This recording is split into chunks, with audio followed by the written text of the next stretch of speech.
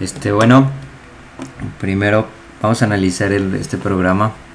Este, dentro de este programa eh, lo que tratamos de hacer es un programa que va a contar eh, va a contar el número de personas que nosotros queramos evaluar y que estas personas este eh, pasen bueno acrediten el rango o la condición que nosotros establecimos y primeramente pues, empezaríamos declarando nuestras variables este que hagámonos por pasos. Em, primero como vemos en esta parte declaramos x como mm, algunas decisiones y como el número de veces que va a realizar la operación. Eh, que diga n como número de veces para que va a realizar la operación. Y como nuestra operación que se va a repetir. H como como otra variable para futuras decisiones dentro del programa. Y bueno aquí vemos la estructura más o menos que son como un for y después dentro de ese for una condición y que cada opción tiene su condición. Bueno para la parte si nos vamos por partes daríamos que inicio nuestro programa. Declaramos las variables. Eh, luego llegamos a la parte nos aparecería un print eh, que nos dará un mensaje. Matocrito como título. Luego se me da la proporción de volumen total de sangre compuesta por glóbulos rojos. Continuamos. Cuánta gente se va a evaluar entonces la gente que se va a evaluar se va a guardar en nuestra variable n. En este caso n pues podemos decir que qué valor le queremos dar unas cuatro personas. Cuatro personas. Continuamos. Ahora llega la parte de for que va a realizar de, de i hasta n veces que en este caso son cuatro cuatro veces. Eh, seguimos si es hombre asigne 1 si es mujer asigne 2 estas son las opciones que nos da. Continuamos. El valor que nosotros le demos si es 1 y 2 se va a guardar en la variable que sería x. Eh, tenemos 2 que sería mujer como si fuera mujer. Continuamos. Eh, se va por la parte izquierda como vemos que sería la, por parte de las mujeres que es una condición específica de hemoglobina y ahora inserte la cantidad de hemoglobina. ¿Eh? hematócrito.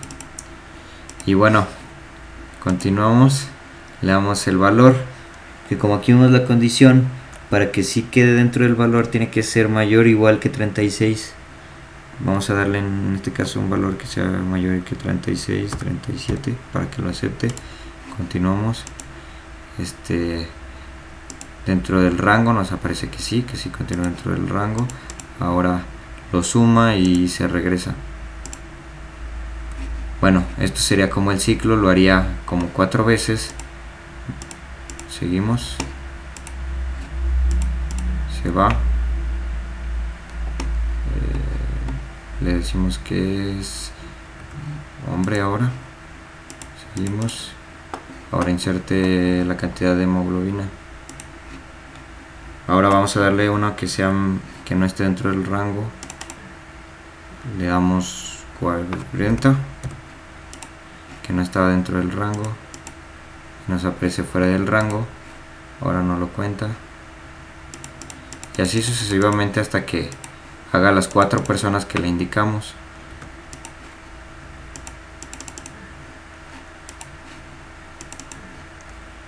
Mm, decimos que era hombre igual ahora bueno para que lo cuente 42 sigue dentro del rango ahora sí lo cuenta. Y bueno ya llevamos dos personas que si los cuenta uno no. Otra mujer para que sean dos hombres y una mujer dos mujeres. Eh, uno para que no lo cuente. Ah, no. Fuera del rango y ahora sí termina, ya fueron las cuatro personas y ya nos hace, hicimos una suma. La gente que estuvo dentro del rango fue chan, chan, chan, dos personas, dos las descartó y las otras dos sí las contó. Y así nos damos cuenta que nuestro programa se ejecuta y ha terminado con normalidad. Bueno, esto fue en el DFD. Ahora si nos vamos al código, hagamos lo mismo pero más rápido. Compilamos. Continuamos. Primero dice grito Se mide la porción de volumen total de sangre compuesta por glóbulos rojos. Shalala, shalala. ¿Cuánta gente evaluar?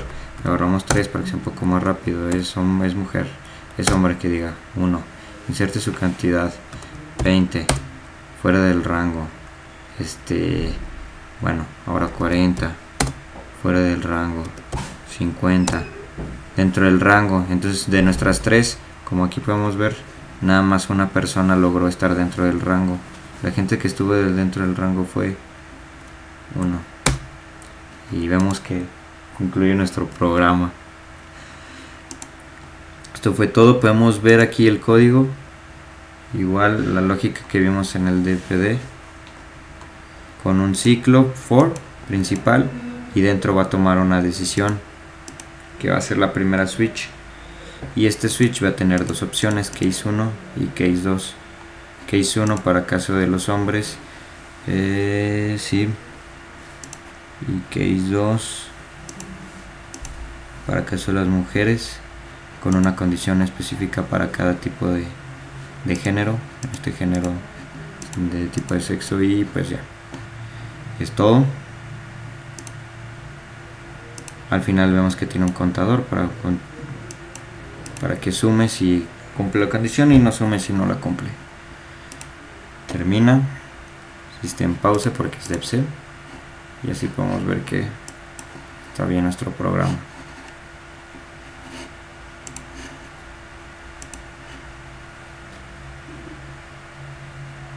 ¿Sí?